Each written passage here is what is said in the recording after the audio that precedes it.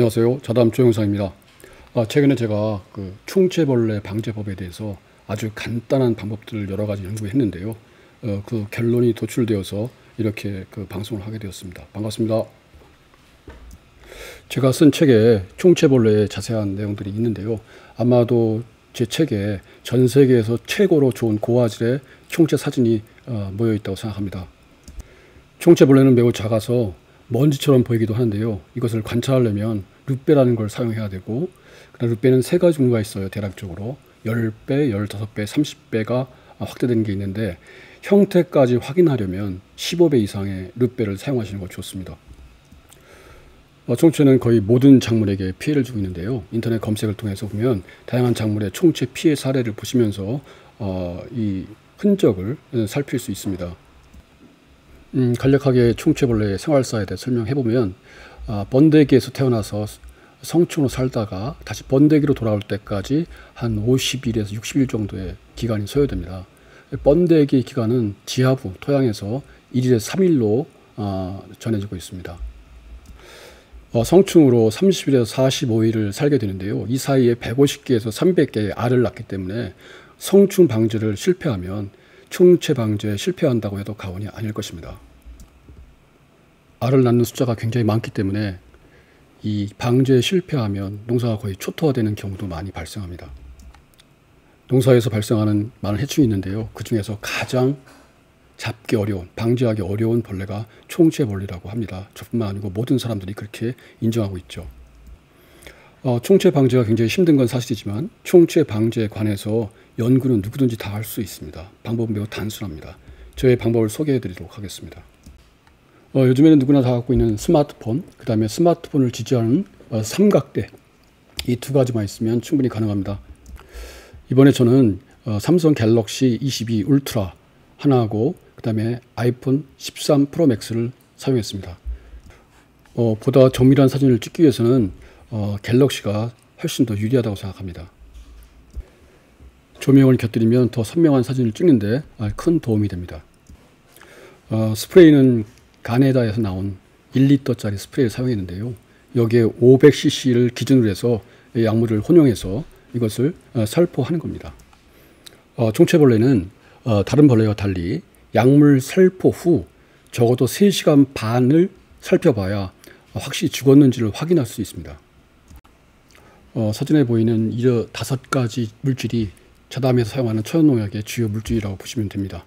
어, 설명에 나오는 것처럼 어, 자담 오일, 어, 자담 유황, 그 다음에 은행, 그 다음에 가성소다, 어, 황토가 있습니다. 자담 오일과 자담 유황은 가열하지 않고 만드는 전세계 최초의 기술이고요. 제가 발명을 했습니다. 어, 유튜브 채널을 통해서 만드는 방법을 다 보실 수가 있습니다. 어, 지금까지 제가 그 총체벌레의 솔루션으로 제시한 것이 네 가지입니다. 이 네 가지를 혼용해야 되는데 어, 현실적으로 어떤 문제가 있느냐 은행 삶유물이 없는 경우가 굉장히 많고요. 또 가성소다나 황토도 어, 구하기 힘든 경우가 있어서 제가 이번에 두 가지 실험을 하는데요. 하나는 자담 오일만 가지고 두 번째는 자담 오일과 가성소다와 고운 황토만 가지고 두 가지 연구를 한 결과들을 예, 보여드리도록 하겠습니다. 어, 참고로 그 자담 오일만 가지고 하는 실험은 제가 그 어, 봉화의 심원섭 선생님과 함께 진행을 했는데요. 그분은 어, 파에 진행을 해서 효과를 상당히 많이 본 것입니다. 저는 그 참외에 적용해서 어, 실험 결과를 보여드리도록 하겠습니다. 어, 원래 총체 방제가를 높이려면 새벽 방제를 해야 되고요. 새벽 방제의 한 결과를 가지고 이 사진을 찍어야 되는데 어, 동영상 촬영상 어쩔 수 없어서 햇빛이 강한 어, 낮에 이 실험을 진행했습니다. 그래서 실제의 방제가보다 더 어, 방제가 낮게 나올 텐데 그럼에도 불구하고 상당한 방제가를 확인할 수 있습니다. 어, 새벽 방제가 방제가가 높은 이유는 뭐냐면 약물을 뿌렸을 때 이 증발하는 속도가 굉장히 늦거든요. 그래서 적어도 약물에 흠뻑 젖어 있는 시간이 1시간, 1시간 반 이상 확보되기 때문에 방제가가 높아지는 겁니다.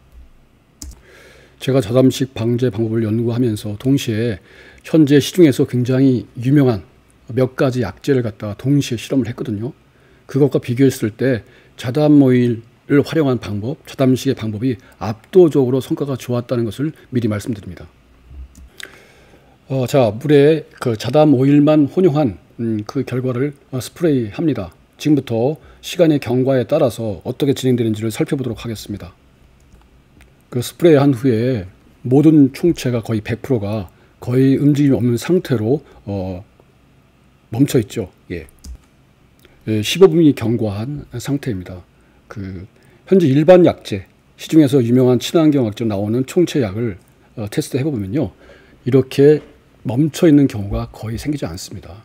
그냥 약을 뿌려도 어, 약이 뿌려지지 않은 것처럼 활동을 하고 그러는 편이거든요. 그 뒤에서 동영상으로 그 결과를 보여드리도록 하겠습니다.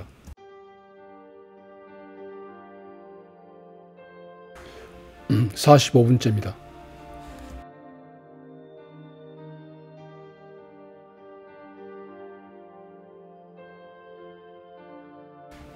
어, 50분째입니다. 몇 마리가 활동을 시작했죠. 60분이 지났습니다.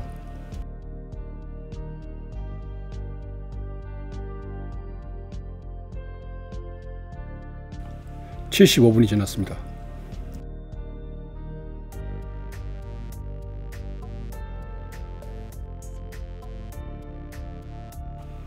90분이 지났습니다.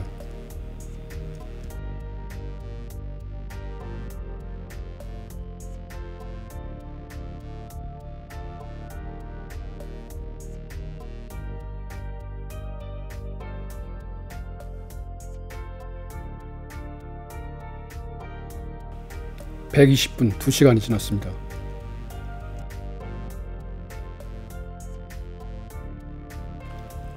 세시간 15분이 지났습니다.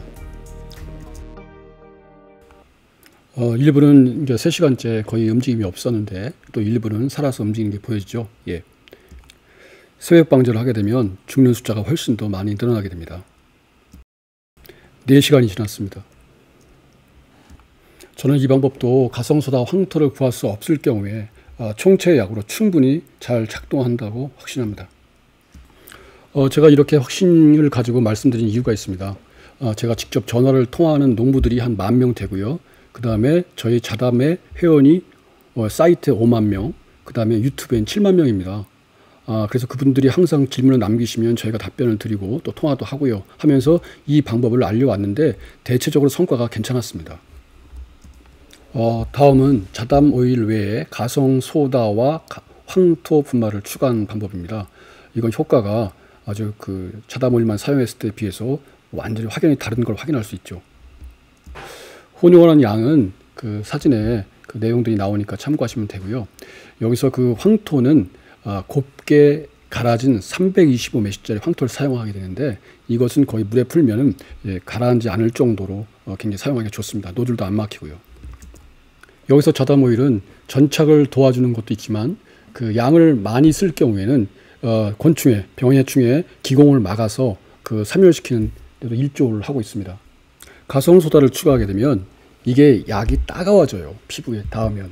그래서 어, 해충의 피부를 자극한다 보고요. 그 다음에 황토 분발을 추가를 하면 그 약물 전체가 아주 깊게 그곤 틈새로 스며들게 되죠. 그래서 살충 효과가 확 늘어나게 되는 겁니다. 어, 가성수단은 어, 500cc에 1g을 쓰는데 이것은 어, 계량을 정확히 한 다음에 약간의 물에 넣어서 어, 미리 녹여서 추가합니다. 다 혼합된 혼합물은 사진에서 보시는 것처럼 이런 형태로 보여지게 되죠. 자, 이 혼합물을 갖다가 이제 참외 꽃에 예, 살포를 했습니다. 살펴보겠습니다. 이전에 자담오일만 혼용한 것과 마찬가지로 살포 즉시 이 총체벌레가 많이 움직이잖아요. 그런데 어, 행동을 완전히 멈추고 거의 죽은 듯하게 예, 있습니다.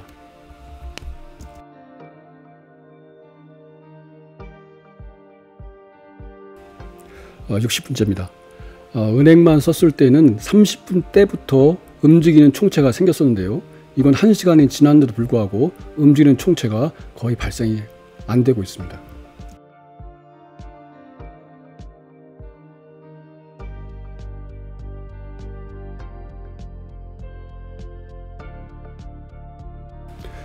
1시간 반째입니다. 전혀 움직임이 없습니다.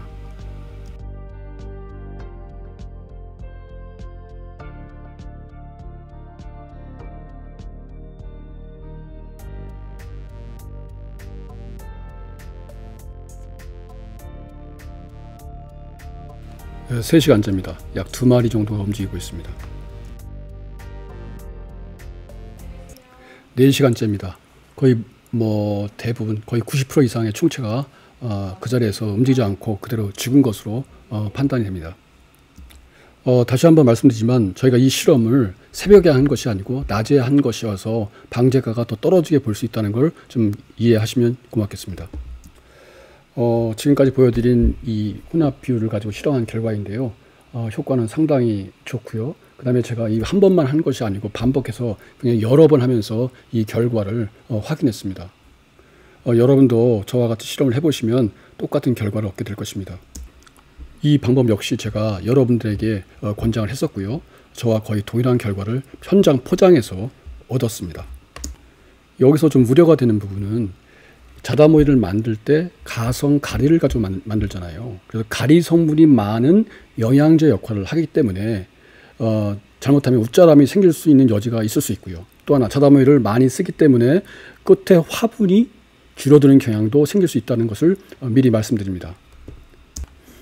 어, 다음은 제가 요즘에 인터넷, 유튜브를 뜨겁게 달구고 있는 유명한 총체약 몇 가지가 있는데요. 그중에 두 가지, 가장 유명한 거. 어, 그걸 가지고 제가 어, 총체 실험을 어, 지금 진행합니다. 자담식 농약은 살포 완전히 그 죽은 것처럼 활동이 정지가 되는데요.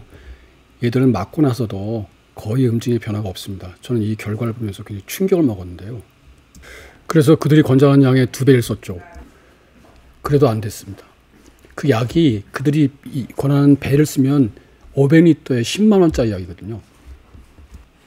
저는 제 연구의 객관성을 확보하기 위해서 그 농약 회사에 전화를 했습니다. 그 결과 그 담당이 자기네 농약은 총체 성체에는 효과가 없다 이렇게 말하는 겁니다. 충격적이었습니다.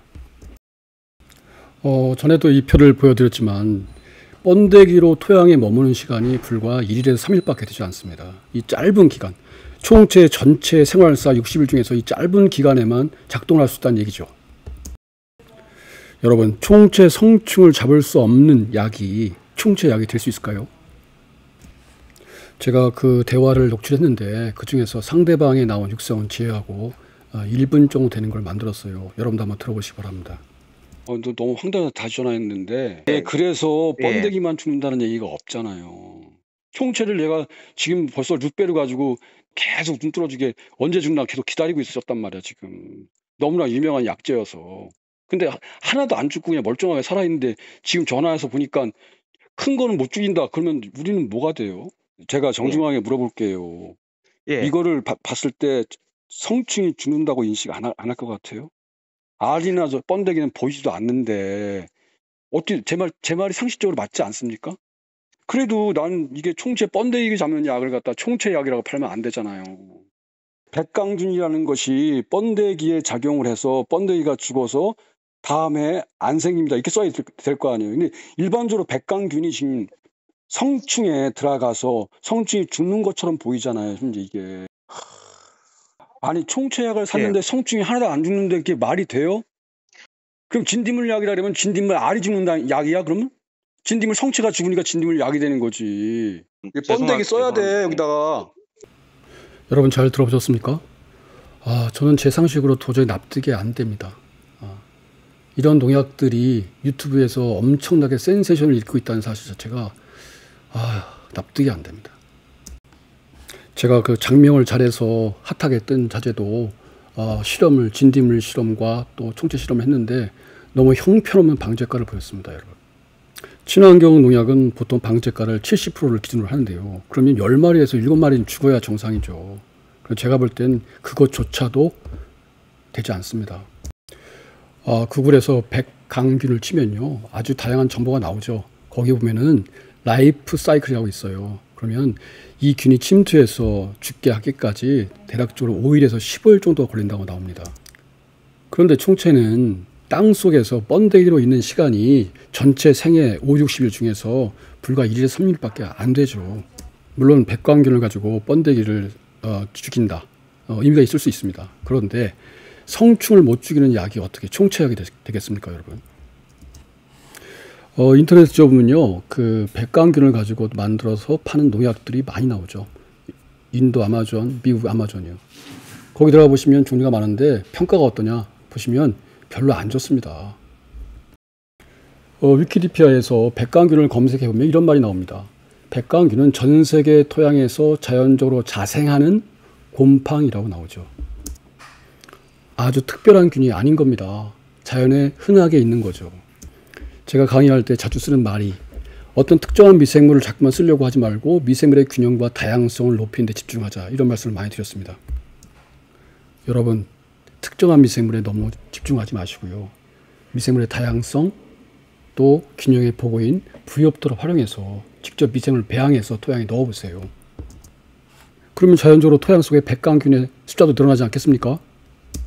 미생물 배양 방법은 자담의 홈페이지 또 유튜브에 자세히 나와 있습니다. 여러분 지금까지 시청해 주셔서 감사합니다. 고맙습니다. 어, 다음번에는 저희가 아주 간단한 진딧물 방제법에 대해서 소개하도록 하겠습니다. 제가 늘 말씀드립니다. 진딧물을 잘 잡으면 모든 충을 다 잡는다. 아주 간단한 방법입니다. 근데 효과는 거의 99%, 100%에 가깝습니다. 기대해 주세요.